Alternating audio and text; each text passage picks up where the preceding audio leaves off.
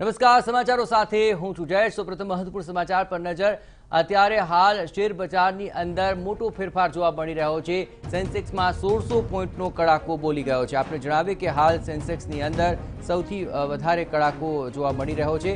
આપણે એ પણ સ્પષ્ટ કરીએ કે અત્યારે શેર બજારની અંદર મોટા ઉલટફેર છે. બ્રિટનમાં નોંધાયેલા નવા વાયરસને કારણે આ કડાકો બોલ્યો છે. મોટાભાગના શેર રેડ ઝોનમાં પહોંચી ચૂક્યા છે. આ ઉપરાંત કરેક્શન પેન્ડિંગ હોવાનો શેર બજારમાં નિષ્ણાંતોનો મત છે. આ ઉપરાંત સેન્સેક્સમાં સોળસો પોઈન્ટનો કડાકો બોલી ગયો છે. આ સમગ્ર મામલે અત્યારે તો જે માર્કેટની પરિસ્થિતિ જોવા મળી રહી છે. પરિસ્થિતિ પર વધુ વિગતે વાત કરવા માટે જોડાઈ રહ્યા છે ટીવીના સંવાદદાતા દીપેન. જે દીપેન, હાલ તો શેરબજારમાં જે મોટો ઉલટફેર જોવા મળી રહ્યો છે. આખરે ઇન્વેસ્ટર્સની અંદર શું માહોલ જોવા મળી રહ્યો છે?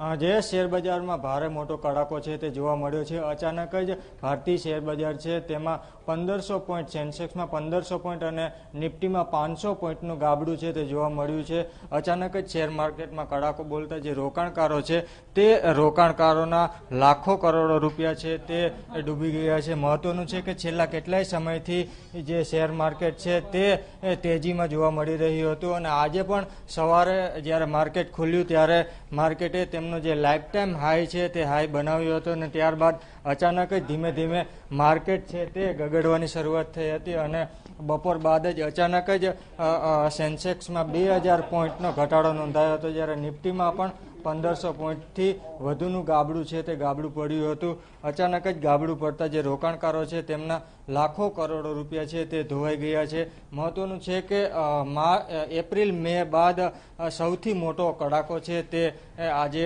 બોલ્યો છે અને જે રીતે છેલ્લા કેટલાય સમયથી તેજીનું બજાર જોવા મળી રહ્યું હતું, તેમાં અચાનક જ મંદી છે તે જોવા મળી રહી છે અને જે રોકાણકારો છે તેમના મોઢા છે તે અચાનક જ ખુલી ગયા છે કારણ કે જે કડાકો થયો છે તે નાનો મોટો કડાકો નથી અને ખૂબ જ મોટો કડાકો છે તે આજે ભારતીય શેરબજારમાં જોવા મળ્યો છે. ત્યારે આપણે જે શેરબજારના નિષ્ણાંત છે તેમની સાથે વાત કરવાનો પ્રયાસ કરીશું કે અચાનક જ શેરબજારમાં જે કડાકો બોલ્યો છે તે કડાકો બોલવાનું કારણ શું છે? શેરબજારના નિષ્ણાંત અનિલભાઈ શાહ છે, તેમની સાથે વાતચીત કરી. અનિલભાઈ, અચાનક જ આજે બજારે લાઈફ ટાઈમ હાઈ બનાવ્યો. ત્યારબાદ અચાનક જ આટલું મોટું ગાબડું પડવાનું શું કારણ લાગી રહ્યું છે? આપણે એક સમાચાર સાંભળ્યા હોય તો યુરોપ કન્ટ્રીમાં જે અત્યારે કોરોના વાયરસનો એક નવી એક ઇફેક્ટ આવી રહી છે. એને લઈને બજારમાં એક મોટો ગભરાટ સવારથી થોડો ઘણો હતો જ. અને બીજું કે યુએસના ડેટા હજી થમતા નથી. કારણ કે રોજ નવા હાઈ ઉપર આવી રહ્યા છે કોરોના વાયરસના ડેટા.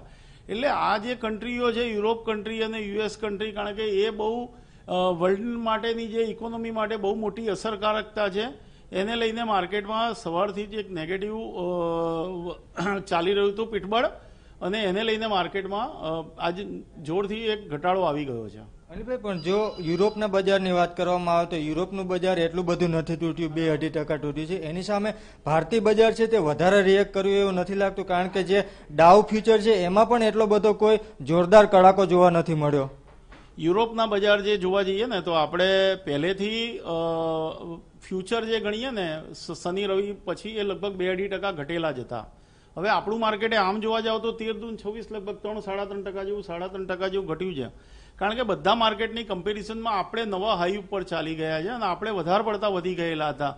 એટલે પી જે કહેવાય છે, જે શેરબજારની ભાષામાં કમ્પેરિઝનમાં એ આપણે ઘણા હાઈ ઉપર ચાલતા હતા. લગભગ નિફ્ટી એના જે પીઈ છે, તેત્રીસના પીઈ ઉપર ચાલતા હતા. એ બહુ જ કેટલા વખત પછીનો હાઈ પીઈ આવી ગયો છે. જેને લઈને માર્કેટમાં એક વેચવાલી અને જે ઇન્વેસ્ટર રૂપી જે લોકોએ પૈસા રોકેલા હોય એમનું પણ પ્રેશર તો માર્કેટમાં નફારૂપી આપવાનું આવવાનું છે. એટલે આ મંદી છે આજના દિવસ પૂરતી જ રહેશે કે પછી હજી પણ કરેક્શન લાગશે અથવા તો શું બજાર આવતીકાલે ફરી રિકવર થશે એવું લાગે છે? ઇન્ડિયામાં જોવા જઈએ તો ઓફિશિયલ ડેટા જે આવી રહ્યા છે કોરોના વાયરસના એ બહુ સારા ખબર આવી રહી છે આપણા ઇન્ડિયા માટે કારણ કે હવે લગભગ ત્રણથી ચાર ટકા જ કોરોના વાયરસના ઓપન ડેટા રહ્યા છે.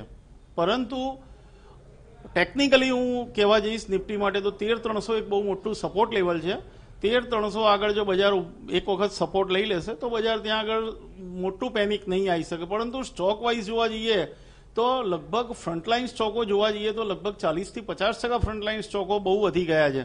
જેને લઈને માર્કેટમાં જો એમાં પ્રેશર આવશે, તો ચોક્કસપણે બજાર થોડુંક હજી પણ ઘટી શકે છે. અને સાથે સાથે રોજ ત્રણ ત્રણ હજાર કરોડની એફઆઈઆઈની લેવાલી આવતી હતી. જો લેવાલી અટકી ગઈ, તો બજારમાં થોડોક હજી પણ વધારો, ઘટાડો આવી શકે છે. બિલકુલ, તો આજે જે કડાકો બોલ્યો છે, એનાથી અંદાજે રોકાણકારોને કેટલા કરોડનું નુકસાન થયું છે અંદાજિત?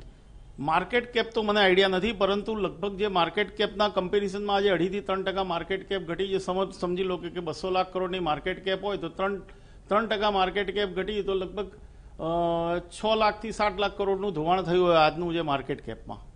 બિલકુલ, જયેશ તો ખૂબ જ મોટો કડાકો છે તે બોલ્યો છે ને એના કારણે જે રોકાણકારો છે તેના પાંચથી છ લાખ કરોડ રૂપિયા છે તે ગણતરીની મિનિટોમાં જ ડૂબી ગયા છે. છેલ્લા કેટલાય સમયથી ભારતીય શેર બજાર છે તે લાઈફ ટાઈમ હાઈ ઉપર ચાલતું હતું અને આજે યુરોપમાં જે રીતે કોરોનાની સ્થિતિ સામે આવી છે અને જે રીતે લંડનમાં લોકડાઉન કર્ફ્યુ લાદવામાં આવ્યો છે, તેની અસર યુરોપના બજાર ઉપર જોવા મળી અને યુરોપના બજારો તૂટ્યા બાદ ભારતીય શેર બજાર છે, તે પણ અચાનક તૂટ્યું હતું અને ભારે મોટો કડાકો નિફ્ટી, બેંક નિફ્ટી અને સેન્સેક્સમાં થયો છે. જી જયેશ.